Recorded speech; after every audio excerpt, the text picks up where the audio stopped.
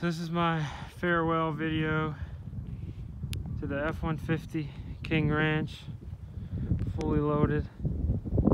It's, uh, it's been a good truck. I mean, it hasn't really given me many problems.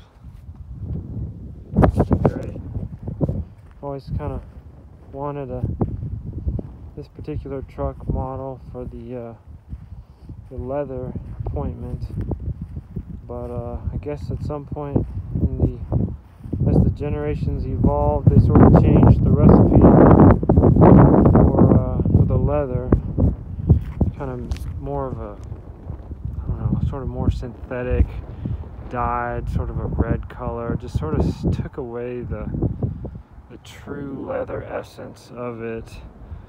Um, very nice truck, just didn't have that dopaminergic pathway activation when you got in it. The leather was just, unfortunately, very typical. Um, once again, they changed the recipe for uh, for the leather, so it, it wasn't exactly what I was hoping for. I had a previous King Ranch that had the the real the real deal saddle leather. I mean, it was just so temperamental. Um, but I mean, it was it was amazing. I mean, it just literally wrapped its loving arms around you when you would sit in it, and it would just smell amazing. And you just keep it moist and conditioned and clean, and it was it was fine.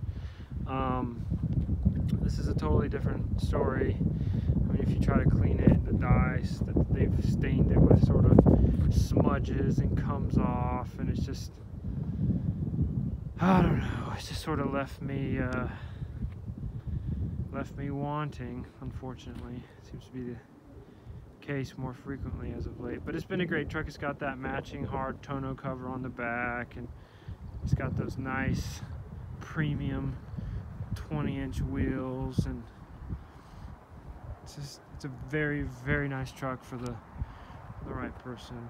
Um, it's gotten me out of a couple of sketchy binds back in the mountains of North Georgia here uh, with the four-wheel drive and all that. So um, I'm gonna miss you, but uh, I think it's time to move on and uh, see what else is out there.